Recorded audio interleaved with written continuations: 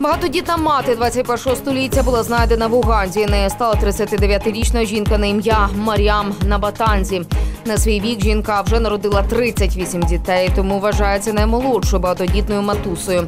Свого первістка африканка народила, коли їй було 13 років. А вже після пологів та наступної вагітності лікарі виявили в жінки рідкісну особливість організму. Адже при кожних наступних пологах вона народжувала більше однієї дитини. Тож жінка самостійно виносила, народила 5 двійнят, 4 трійнят і 5 четвернят. Батько тим часом не витримав і покинув родину.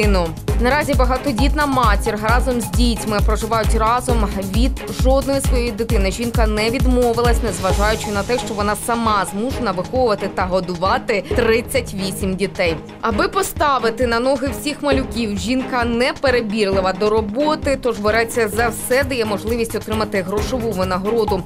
Зокрема, робить зачіски, прикраси, виготовляє алкоголь і продає лікарські рослини.